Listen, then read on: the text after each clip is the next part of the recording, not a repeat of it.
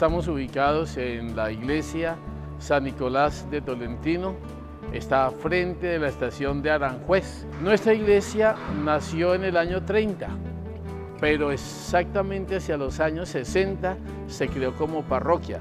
Al comienzo se llamó Francisco de Paula. Eh, cuando nos la dieron, pues nosotros imprimimos nuestro carácter propio y se fue extendiendo la mm, devoción de San Nicolás y en el año 60 propiamente cambia el nombre y se llama, comienza a llamar San Nicolás de Tolentino. Es un santo italiano, agustino, no recoleto, solo agustino. Es muy famoso entre los católicos, especialmente en Italia, porque tuvo fama de hacer muchos milagros, muchísimos. Entre otros, él es el abogado de las benditas almas. Es el abogado, por eso ustedes los ven con un cáliz y a sus pies se ven fuego y se ven las almas pidiendo auxilio. Entonces, la historia es que cuando él celebraba una Eucaristía, muchas almas salían del purgatorio. Otra devoción muy famosa son los famosos panecillos de San Nicolás.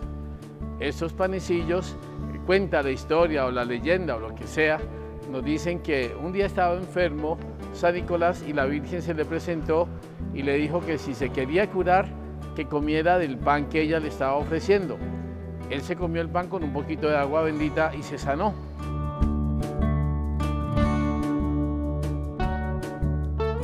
En nuestra parroquia, eh, todos los lunes a las 3 de la tarde celebramos una misa especial donde se bendicen los panecillos de San Nicolás. También los llaman aquí en Medellín los bizcochuelos de San Nicolás, pero son panecillos pequeñitos.